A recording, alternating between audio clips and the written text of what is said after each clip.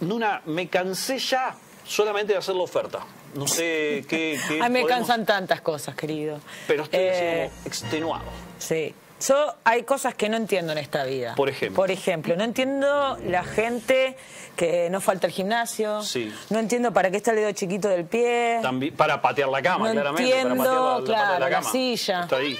No entiendo la gente que estudia analista en sistema. Ajá. No entiendo quién es Bizarrap. Bueno, Y no entiendo la Sí. gente que corre. Eh, ¿Por ¿Qué te no motiva? que- Porque me cansa de ver a la gente que corre. pero la gente que corre tiene motivos a veces para correr. Por supuesto, y para eso los invitamos hoy, para que nos aclaren. Ya Sí. han venido en otras oportunidades. Los voy a presentar primero y después voy a, a contar para por qué están acá. Bueno. ¿Cuál es mi inquietud? Dale. Él es el señor José del Sastre, Hola, José. que comenzó a correr después de dejar rugby. A los 40 años dejó rugby. ¡Qué aguante! Eh, bueno, hizo varias carreras, se metió en el triatlón, hizo tres Ironman. Na- nada más y nada menos. Después de los 40. Sí, sí, sí. El primer Ironman fue, sí, ahora le vamos a preguntar, pero creo que los 58. Exacto. Así es. Eh, de sus ocho hermanos, cuatro hicieron Ironman. O sea, ya hay un factor genético ahí dando vueltas. ¿Y por qué hay un factor genético? Porque su hija que está a su lado, Manuela del Sastre, también dejó hockey. Sí. que todo viene de dejar el deporte anterior, Sí. hockey, rugby. Sí. Y se metió porque el padre le pidió que la acompañara a correr. Acompáñame. O sea, cuando venía, vamos a correr 21 kilómetros. ¿Te, cabe? ¿Viste? La que, saca, la que se acá en la ciudad. Eh, y después ya hace seis años que está corriendo con toda, profesionalmente ya te diría, porque se metió en el trail, que es de montaña. ¿Bien digo? Vino, vino, bueno. vino a contar ese, si no me equivoco, la última que fue vino, etapa de muchos diarios, Bien. hizo entrevistas. Por vos pones en YouTube y ya te salen te sale. todas las entrevistas que ha realizado. Ha venido aquí a contar sobre la carrera que hizo, la más larga hasta ahora, de 110 kilómetros, y va por los 160 ahora. Va a ir por esa. Yo lo último que corrí fue el colectivo y me cansé. No, yo lo dejo pasar, Está bien. no lo corro. bien. Bienvenidos, gracias ¿Qué por estar acá. Manu y José, padre e hija respectivamente. Manu, ya estás cansada de contarle a los medios cómo fue tu experiencia allá en Córdoba, corriendo, ¿cuántas horas? ¿18? 18, 15. Pues no, no, no lo puedo, no me cabe en la un cabeza. montón de tiempo, Eh, un y bueno, tiempo. Macoco, arrancar a los 58 el A Ironman. los 58 no corrí el primer Ironman. que no- Y a los 65 corrí el último. No, es una Pero locura. dejaste rugby a los 40. Sí, 38, 39 dejé el rugby. Y- ahí siempre me gustó el deporte. Y bueno, salí a correr solo por la costanera. Siempre, siempre desde niño. Siempre, siempre. Bueno, yo eh, fui a la secundaria, fui al liceo, así que hice siempre deporte. Claro, tuviste ahí una te cuestión obligaba- física. sí, sí o sí tenía que ir a hacer, no tenías opciones. Eh, y bueno, seguí jugando al rugby. Y cuando dejé de correr, de jugar, empecé a correr solo. Y un día estaba corriendo por la costanera y me encontró el turco Borges, que le agradezco porque realmente fue el que me llevó, y me dice, ¿no querés correr 42 kilómetros?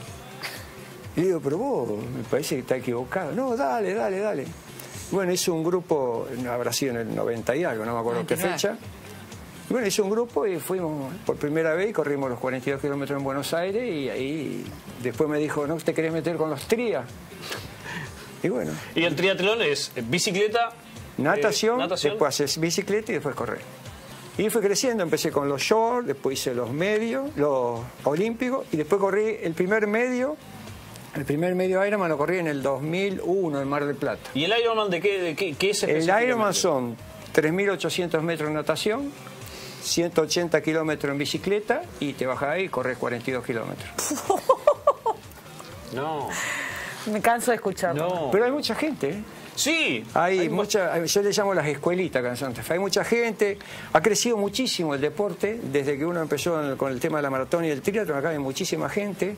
Realmente da gusto ver este, por la costanera, por las plazas, por distintos lugares, la cantidad de profesores de educación física eh, con pequeños grupos que, que trabajan con el deporte. Realmente es bueno. No es que uno sea loco, pero creo que hay que fomentarlo esto. No te enojen una. ¿eh? No, no, por favor, por favor. Algún día lo vamos a lograr. No, no, yo me acuerdo haberla visto jugar al hockey. La cuestión Ah, es... bueno, algo hice. algo hice. Tan mal no me fue en la vida. Pero claro. Eh, no, hockey sí te hago, pero correrme no, no le encuentro. Eso es lo que les quería preguntar. ¿Qué pensás cuando vas corriendo? O sea, yo necesito. una- En el hockey voy buscando a mis compañeras y el objetivo es pasar adentro de la red la bocha.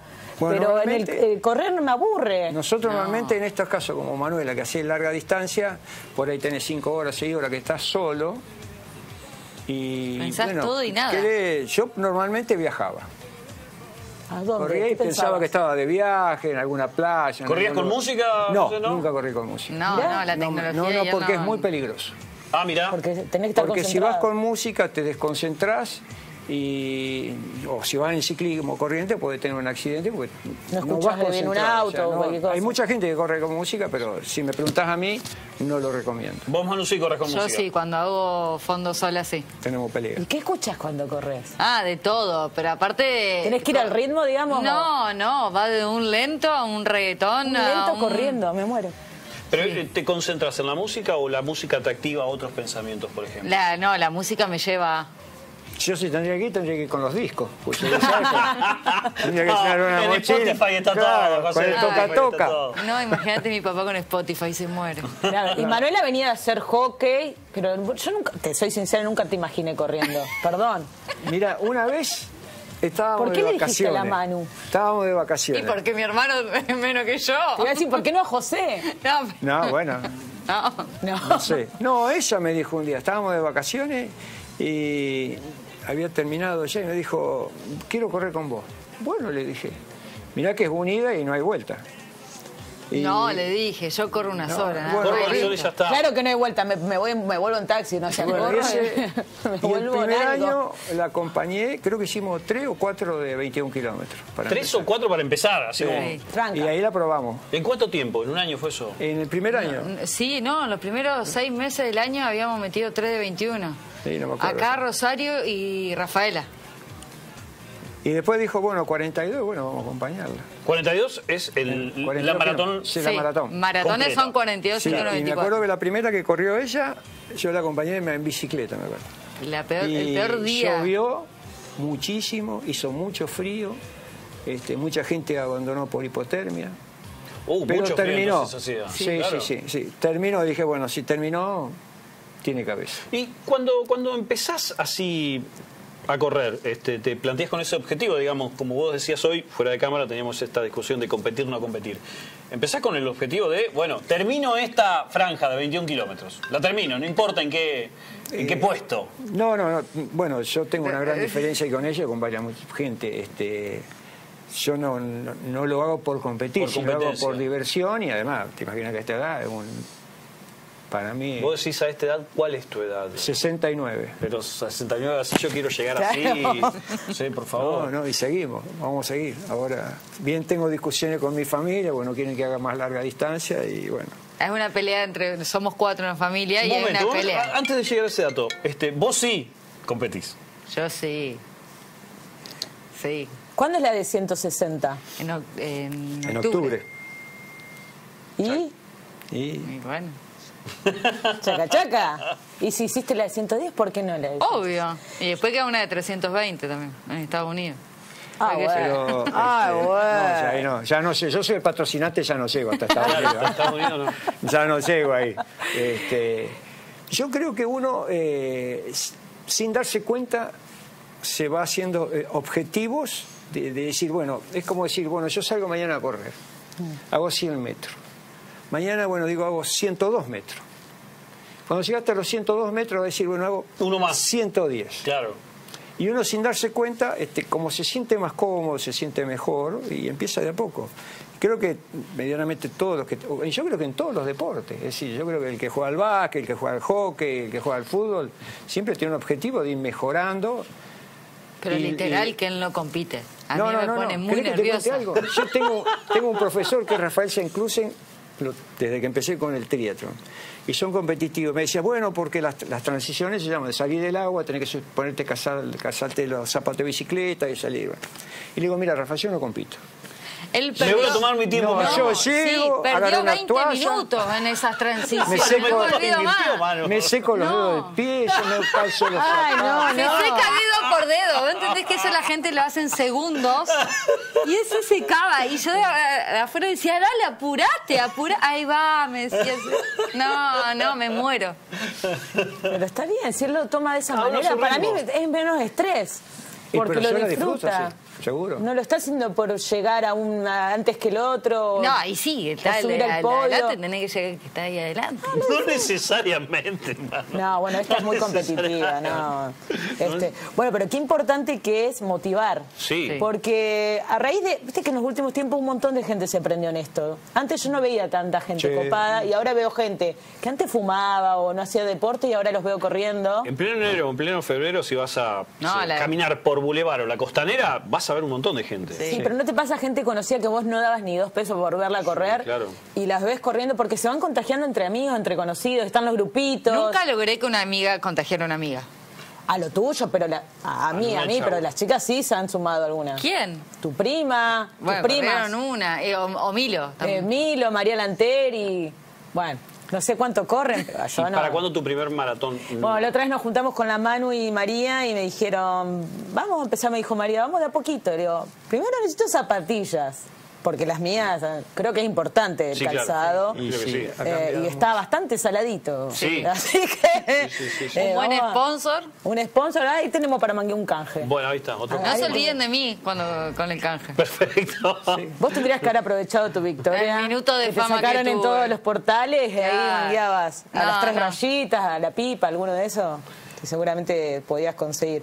Pero bueno, eh, vos te sentís muy orgulloso de tu hija. Sí, real- eh, primero me siento orgulloso de los dos hijos que tengo y de la mujer que tengo. Ay, va, Ah, no, siempre tan caballero. Y segundo, la primera vez que corrí con ella me parecía mentira este, estar corriendo con ella.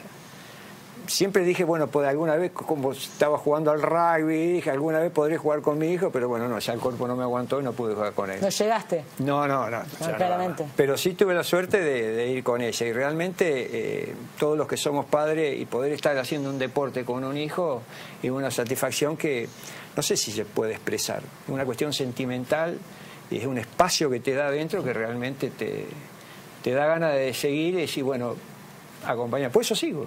Claro. Si ella deja, tendré que dejar.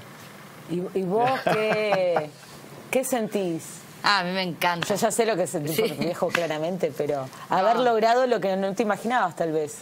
No, a mí también, a ver, para mí, eh, tanto mi papá como mi mamá que me, me- me acompañan a todas las carreras, literal, para mí es, es- es muy bueno. Es más, la última carrera que hice no llegaba, no llegaba, no llegaba, no llegaba, y lo, me- lo que pensaba era, no, están mis viejos, tenés que llegar, tenés que llegar como sé, y llegué. ¿Esa era los 110? No, una ¿Hiciste que hice otra? 50 después. ¿Después corriste de otra? Sí. Sí, yo le dije que no, porque no había pasado 30 días de los 110 y me dice, me voy a ir a correr entre ríos 50. Le digo, te vas a romper, te vas a, a desgarrar. No, no, no, no voy. Pero como este es taruda, a correr Y- y 50. Y me ¿tienen dice, un no, seguimiento- mucho barro, que esto... Y- ¿Tienen- ¿Se hacen seguimiento con nutricionista? O... No, sí, sí. Porque eso debe ser importante también. No, si no tenés una, una, una buena vida, este, no es que uno haya sido un santo. Eh, Igual la peña es la peña. eh, Eso sí se respeta. Si no, la Sí, luna me mata. Sea, te cambia el ritmo de vida, podés los sábados. Los viernes hay que acostarse temprano. Y sí, No, qué embole. Y bueno. Che, y el otro tema, eh, para motivar a alguien, a ver si me logran motivar. A ver si logran. No, ¿Qué es- le dirías a las personas que por ahí lo, lo piensan pero no, no arrancan? Que, ¿Cómo se puede arrancar? ¿Por dónde se arranca? ¿Qué hay que tener en cuenta? ¿Cuánto se puede correr por primera vez para no matarte y exigirte me tanto? parece que tendrían que hablar con, Con algún profesor de educación física o algo. Ah. Nosotros no somos quien como para decir qué, pero sí creo que tendrían que tener la voluntad de hablar con alguien. Hay mucha gente hoy. Hay mucho, hay muchas, como le dice, escuelitas o grupos de corredores que está, que tenés distintos horarios, lugares para encontrar, todo está muy bueno. Eh, primero acercarte y decir, mira, quiero arrancar, no sé, no sé correr ni 100 metros, pero de a poco vas comenzando. Para mí, con constancia y perseverancia, todo se logra. Mira, yo estoy el ejemplo. Un chico volvió con nosotros, eh, yo lo conocía porque jugaba al rugby, y llegó a pesar 160 kilos. Bajó y corrió un trial. Yo cuando lo vi correr un trial, realmente... ¿Cuántas ganas, amigo? Sí, sí. Por eso te digo que hay ¿Cuánta voluntad. voluntad? Hay voluntad. Sí. Y creo que de a poco, este, Se logra. primero que es vida, te cambia. Hacé un Por ejemplo, grupo el de caso mío, amigos que soy una persona mayor, creo que tengo, si bien no estoy exento de que me pase cualquier cosa, este, tenía una calidad de vida distinta. Pero claro, disminuís las posibilidades de que Y- Sí, aparte es intenso. No se queda quieto nunca. Bueno, es otra En cosa. pandemia. Dijo intenso. Intenso, preguntale a mi mamá. Sí, sí. En pandemia corrió 5 kilómetros adentro de mi casa. No, te, no, no es grande la casa. Subía y bajaba, como Subí y bajaba la escalera. el patio, la terraza. Uh, claro. No, es intenso. Pero es bueno. ¿A vos te debe dar eh, en ese sentido la, la pandemia? Me mató la ¿Te pandemia. mató? No, lo único, una, gracias a ella y, y a, a Ricardito que me consiguieron un acople, y le hice un acople a la bicicleta. Así que pedaleaba Como todo le el hiciste Claro, fija. pedaleo todos los Y días. Un día cayó José y me dijo, parecía un hámster. Sí. Todo el día dándole sí, la claro, obvio. Ay, toda la energía que Sí, tenía. no, pero mi mamá le iba a matar si no. Había encontrado, eh, una amiga me había pasado una estadística de eso, de que este, los implementos para bicicleta y para pedalear en el lugar se habían disparado en la. Crecieron Sí. muchísimo. No, y los precios. También. Precios se Bueno, fueron. eso es un problema de oferta y demanda. Sí, sí, obviamente. Pero es bueno. Es otra cosa que no entiendo, la gente que anda en bici. Eh, No. ¿Qué te pasa con los que andamos en bici? No, vos, vos por una... Ah, vos también sos ciclista. No, no, no. Yo más que para ir a algún lado y chao, ahí la dejo a la No, gato. No, sería bárbaro. No, no, que no, si no. Me encanta. hubiese, No es lo mío la bici, eh, no. sí. que dentro de la ciudad pudiésemos circular en bicicleta. Sí, Sería claro que sí. Claro que sí. Hay lugares que sí que se puede y otros no. No, tanto. no, sí. Y Y, otros no además, tanto. este, aprender al respeto del ciclista, del tipo que va a laburar en bicicleta. También, Y también. no lo respetamos. Tal cual, tal cual. Bueno, este, qué hermosa charla. ¿Viste? Nora. Mota- No la motivacional. convencimos, me parece. Pero ya la vamos a comenzar. ya vamos a- sí, es la gota en la piedra, es la gota en la piedra. Llega un Tranquilamente. sponsor de calzado yo Sí, arranco. ahí está, bueno, perfectamente. Lo prometo. Perfectamente, está la promesa hecha al aire. Necesitamos un par de altas llantas. Tienen que ser buenas. Sí, claro. Tienen que resistir. Claramente, claramente. José Manuela, muchísimas gracias por venir. No, Gracias gracias, a ustedes y muchos, mucha suerte durante el año.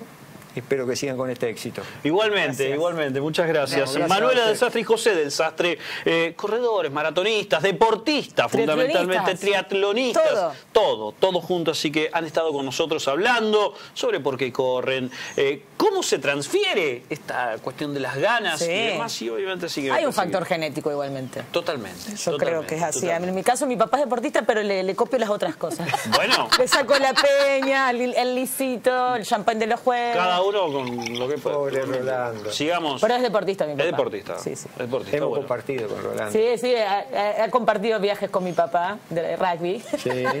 y él le terminaba haciendo la valija a mi papá, como la Manu me ha hecho la valija a mí en algún Bueno, viaje. Ahí está. Todo, todo completo. Todo completo. Bueno, bueno.